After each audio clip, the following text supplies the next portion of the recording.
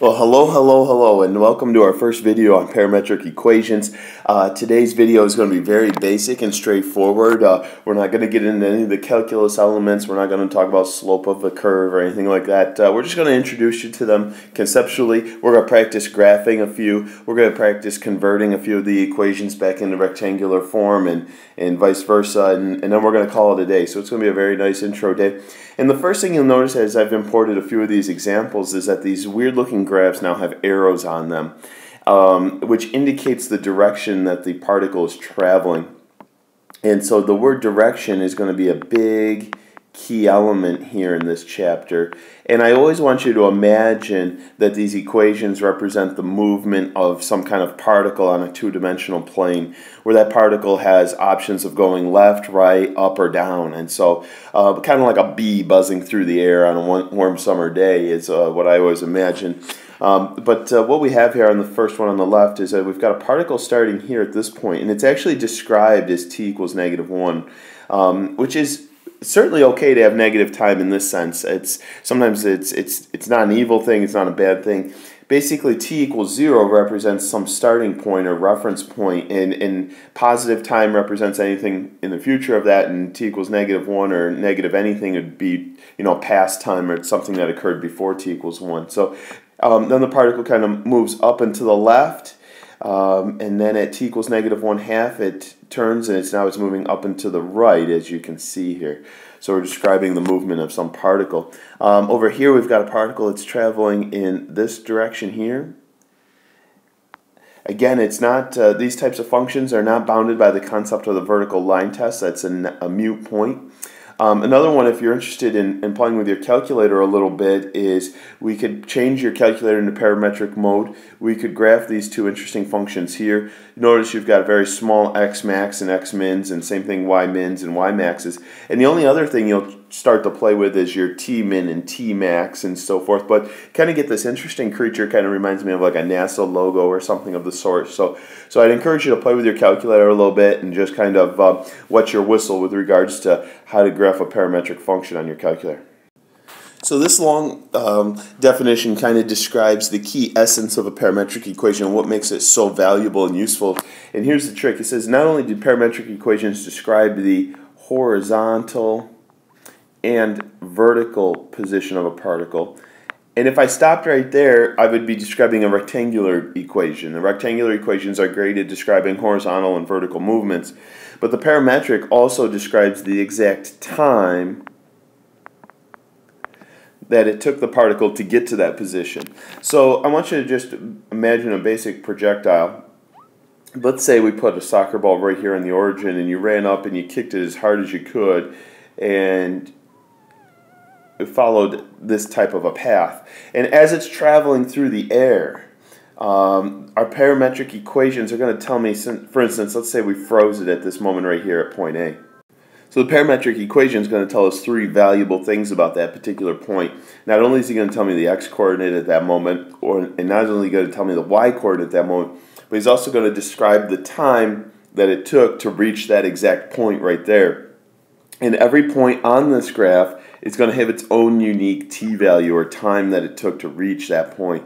Um, and so we've got that. We've got three variables in play here today, and that's where it's going to get real crazy. So um, generally, our notation is going to be uh, they're going to define two equations to represent this curve. It would be x of t equals something something, and then they would also define y of t is equaling something something, which uh, t is now the interesting one. That is your independent variable.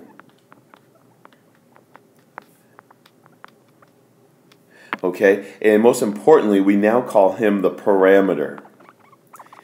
Okay and hence the name parametric equations comes into play. But t is called the parameter, and that's the vocabulary we're going to try to discipline ourselves to use. And then x and y are now both dependent variables. Okay, normally it was just y before, but now they're both dependent variables. And basically all we're saying is that the value of x and the value of y depend on the value of t that we choose or substitute. So we're going to go ahead and jump into our first example, and they're asking us, uh, and we're going to use the same set of directions for all four of our examples to our notebook. They're asking us to make a table of values and then sketch the curve indicating the direction of your graph. That's going to be very important. And then we're going to practice eliminating the parameter. Now eliminating the parameter is just another way of saying convert your equation from parametric into a rectangular, and that's all that last sentence really implies. Um, typically, they'll give you an interval of t values to make your graph, and for this one, I want a graph from negative 2 is less than or equal to t, which is less than or equal to 3. So that's the interval that I want to graph. The, the two equations, we're going to do x equals 2t minus 1. I could have said x of t equals 2t minus 1. And then we'll also graph y equals 1 minus t. So those are the equations that we want to work with. Now, as far as making a table of values, this is going to be rather, this is going to be a monster. We've got, um, we've got our t values up here, and then we've got our x values, and then we've got our y values. And we're going to start at negative 2, and try to squeeze in all the way to 3.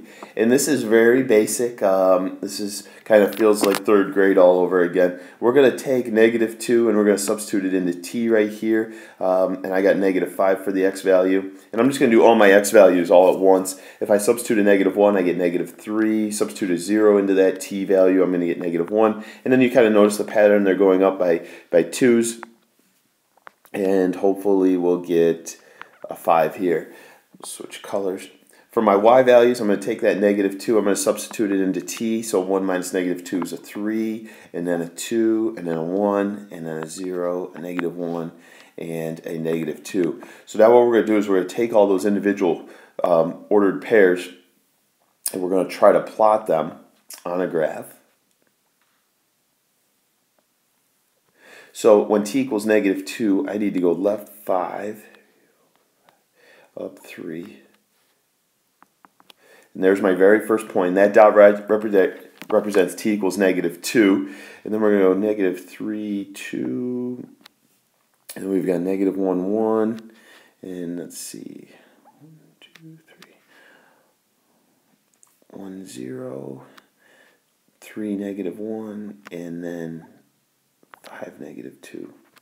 So what we've got here is we've got a, a straight line that pass through those points. And we also want to indicate the direction. And I like to put a little arrow in between each set of points to show how I got from one point to the next. So uh, there's no, you know, can't use too many arrows. Uh, arrows are a good thing because direction is very, very important. Uh, the only thing left to do now is to eliminate that parameter. And, and it's very simple. What, what I like to do, and there's very few exceptions to this, is I'm going to start with my x equation. And what I'm going to do is I'm going to solve for t. So we've got x plus 1 equals 2t, or x plus 1 all over 2 equals t. And then I'm just going to substitute that expression into the other equation. Um, so we're going to say instead of one, y equals 1 minus t, we could say y equals 1 minus x plus 1 over 2. For a second example today, I want to, let's try x equals the square root of t, y equals t plus 1. And let's do the interval from 0 to 9 uh, for t. However, we're going to cheat a little bit today, and within that interval 0 to 9, we're only going to pick out the perfect squares because x is defined as radical t, and, and we're just going to keep things clean and, and friendly today. Um, notice, just to review, uh, t is called the parameter. He's known as the independent variable, and then x and y are both dependent variables. And so for my big table of values here, I'm going to let t equal 0, I'm going to let t equal 1, I'm going to let t equal 4, and then we're going to skip all the way to 9. Like we said, we're just going to keep it friendly. Um, go ahead, hit the pause button, see if you can fill in the table really quick, and then come back and compare. So here are the table of values I got. My x values were 0, 1, 2, and 3. My y values were 1, 2, 5, and 10. And now all we got to do is we got to take those rascals and, and try to put them on some graph paper here. I got a little fancier this time because I thought my last graph was too messy. So I'm going to go ahead and we're plotting, uh, the first point was 0, comma 1, and then we had 1 comma 2 and then we had 2 comma 5 and we'll see if we got just enough room to fit this last one on there 3 comma 10 it's going to be up here so all we're doing now is connecting those points it's kind of a you'll notice it's kind of starting to behave like a parabola. And if we throw our directional arrows on there, we're kind of moving in this direction like so. Last thing we want to now do is work on eliminating that parameter. We said uh, what we'd like to do is start with the x equation. We've got x equals radical t. We'll solve for t and then use our substitution method here. So y used to be uh, what t plus 1. So now we can say y is really x squared plus 1. And you'll notice if you kind of, this is a parabola that looks like this. And all we did is we kind of chopped off that left side because of the intervals of t we got. On our third example, I'm going to turn you loose here. We've got uh, our first equation, x equals t squared minus 2. We've got y defined as t divided by 2. And our interval is going to go from negative 2 all the way to 3. And we're not going to skip any values here this time, even though some of them result in fractions for y. And I want you to go ahead and construct your own table, start plotting those points, create your own graph with the direction indicated, and then come on back, hit the play button, and see if I've got the same thing. Okay, so hopefully your table values looked a little bit like this, and now we're ready to plot them. And let's see, 2, negative 1, we're going to start down here, and then we've got negative 1, negative 1 half, negative 2, 0, negative 1, 1 half, we've got 2, 1, so put me right there, and then 7, comma, and 3 and a half. So Ooh, I think that's a big goof up there, so we'll go try to fix that. So here's what we've got. We've, we're swooping this way and then this way here. We'll throw in our directional to show that which way we're rotating and moving. Now, before we move on and eliminate that parameter, I just want to kind of give you a sneak peek of where we're heading over the next week or so. What they, what the AP likes to do is they'll pick a specific point on that graph they might pick this one right here, and they're gonna um, they're gonna ask you to describe dx dt.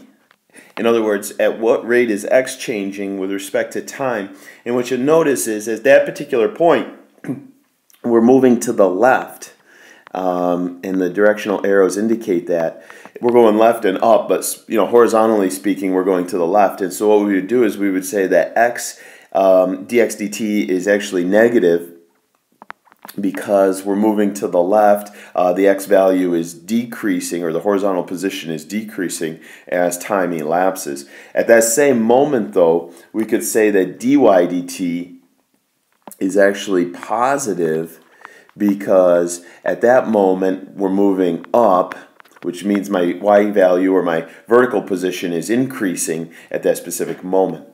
Now as far as eliminating that parameter goes, Let's go ahead. We'll start with our x equation. Well, typically we, we said we almost always start with our x equation. Here's an example where it's going to be much simpler and more convenient to start with your y equation. We'll solve that rascal. We'll get 2y equals t.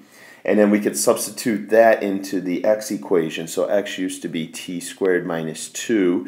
If we make that appropriate substitution, we'll get 4y squared minus 2. And that makes sense because and you know, anytime we get an equation like this, we're expecting some kind of sideways parabola. Uh, this coefficient's positive, so we know it's opening to the right. And I think that does confirm the portion of the graph we have above, just with a restricted interval.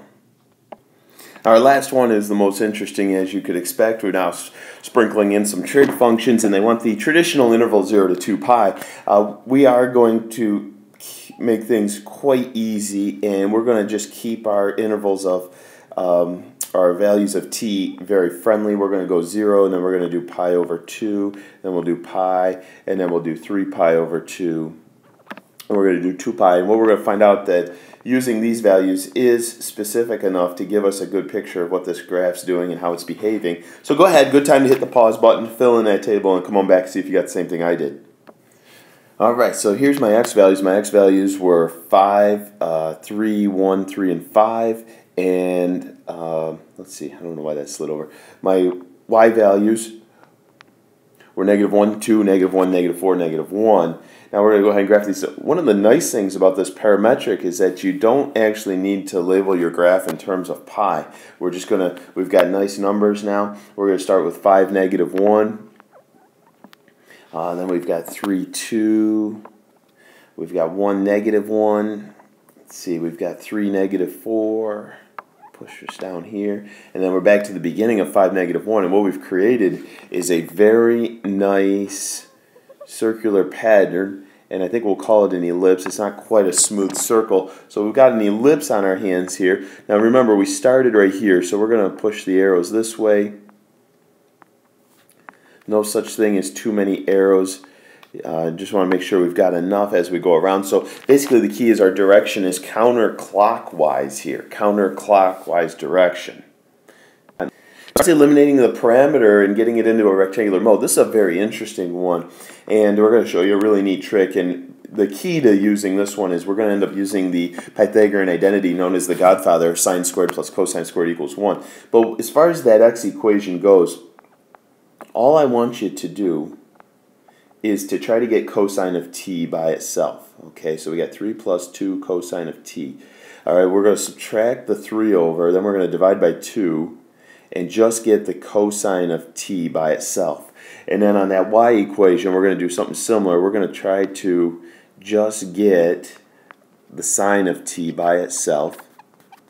We're going to Let's see, that was a negative 1. So we're going to add the 1 over. We got y plus 1. The whole thing's divided by 3, and there's your sine of t.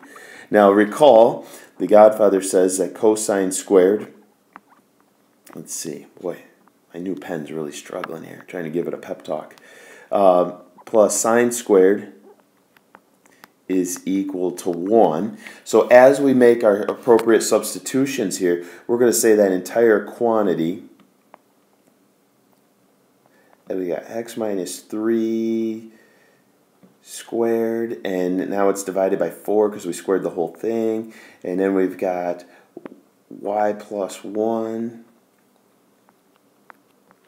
squared all over 9 now, and that equals 1. And I don't know how much time you guys spent on um, elliptical equations back in Algebra 2, but this is the standard form of an ellipse. It has a center of positive 3 comma negative 1. It has a horizontal radius of 2, which would be the uh, square root of this denominator here, and then it has a vertical radius of 3, which is the square root of that rascal. So it does match our graph perfectly. It's not quite a circle. It's a very nice ellipse. And so there's a neat trick on how we take advantage of the Godfather to convert a parametric into a rectangular mode. So hopefully these four examples uh, went well, and we'll see you tomorrow in class. And we got the right side of that parabola.